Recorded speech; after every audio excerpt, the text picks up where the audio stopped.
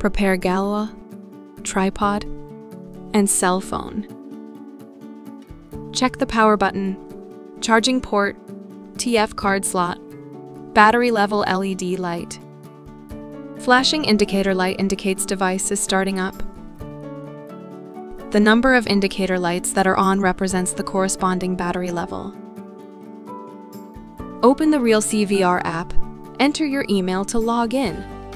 Select your identity. Select the Galois device. Remove the radar cover and lens cap from the Galois and turn on the device.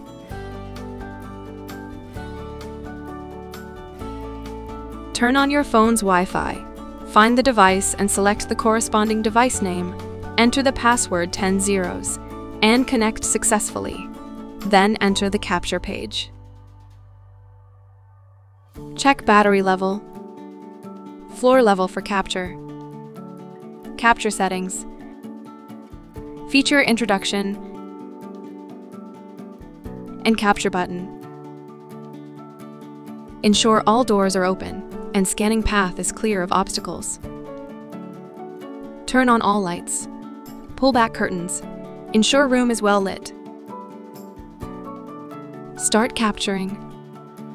Place the first point at the entrance door and have personnel avoid the area while capturing.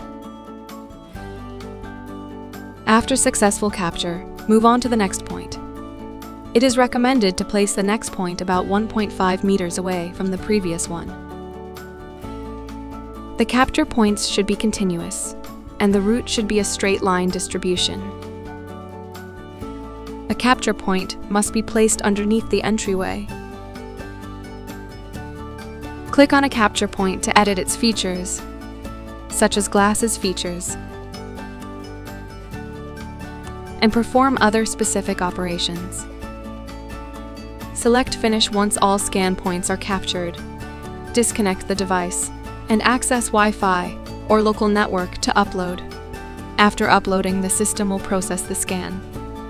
During this period, you are free to close the app. Once processing is completed, you can make basic editing in the mobile workshop and share the link. To edit with more details, such as floor plan, quick guide, you can access to console. Watch our editor tutorial video if you need help. Let's have a look at a fully edited case.